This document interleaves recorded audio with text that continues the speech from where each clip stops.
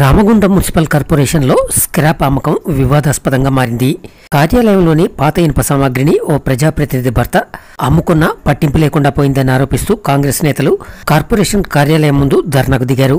టెండర్లు పిలిచి స్క్రాప్ అమ్మకానికి పెట్టాల్సి ఉండగా లక్షల రూపాయలు విలువ చేసే సామాగ్రిని నేరుగా స్క్రాప్ దుకాణదారునికి ఎలా అమ్ముకుంటారని కాంగ్రెస్ నేతలు బొంతల రాజేష్ మహంకాళి స్వామి ప్రశ్నించారు.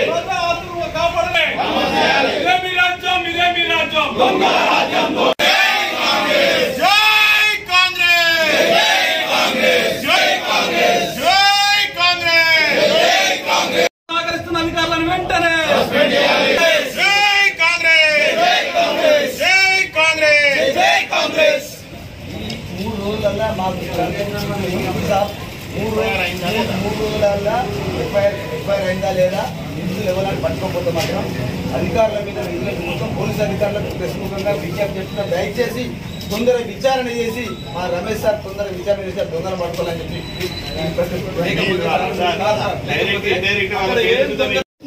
రామగుండం మున్సిపల్ కార్పొరేషన్ ప్రజలందరికీ కూడా కాంగ్రెస్ పార్టీ పక్షాన ఒకసారి విన్నపం చేస్తా ఉన్నాం.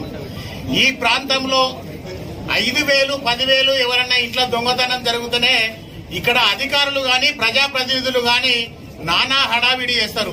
ప్రజలందరూ ఒక్కసారి గమనించండి.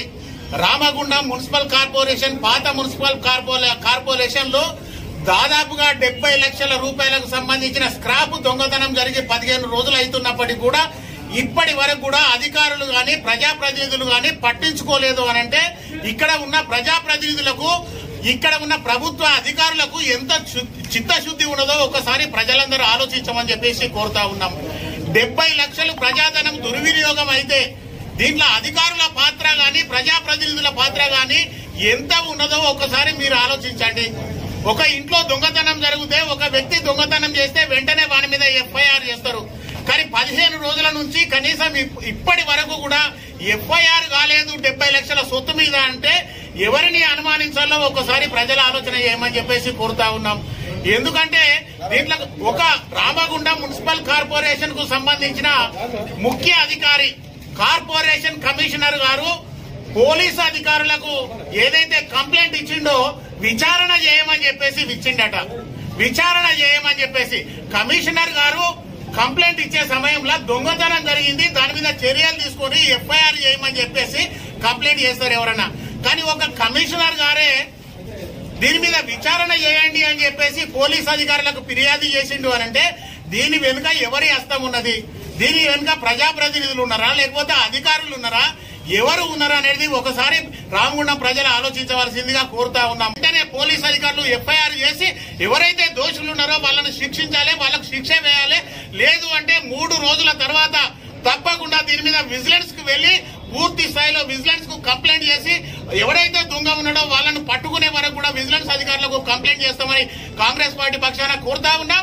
పోలీస్ అధికారులకు దయచేసి వెంటనే ఎఫ్ఐఆర్ చేసి నిందితులను దొంగలు ఎవరున్నారో వాళ్ళని పట్టుకోకపోతే మేము విజిలెన్స్కు వెళ్ళే అవకాశం ఉన్నది కనుక దయచేసి పోలీస్ అధికారులు కూడా సహకరించి వెంటనే ఈ దొంగతనం కేసు మీద ఎఫ్ఐఆర్ చేయవలసిందిగా కాంగ్రెస్ పార్టీ పక్షాన డిమాండ్ చేస్తా ఉన్నాం.